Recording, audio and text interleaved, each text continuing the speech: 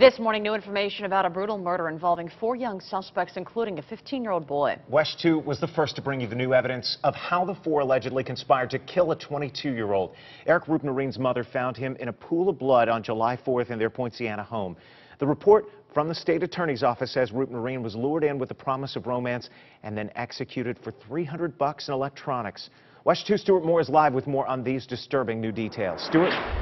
Well, Jason, it's about 300 pages of evidence that the investigators have released uh, in regards to this case. And in it, Victoria Rios and several others describe exactly uh, how they went about killing Eric Roopnarine. Now, investigators uh, say that the four actually lured him by saying that Rios was actually going to use herself in prostitution to get some of the money that they had found out that he had come across. Now, Rios tells investigators that David Damus shot Roopnarine in the head, then Conrad Schaefer stabbed him in the neck. Now, she describes his last words as this, saying, quote, please don't kill me right before that shot was fired. She says that Eric, then after she noticed that he was still breathing, that he stabbed, Eric stabbed, uh, was stabbed several times with a kitchen knife, and then they did a countdown aloud and then shot Eric in the face. Now, investigators have said that they will continue to pursue more leads with this case because they say the four are responsible possibly for 18 other shootings around the central Florida area. That's also detailed in those 300 pages of evidence that have been released. State Attorney Jeff Ashton himself has said that he will be trying the case against these suspects.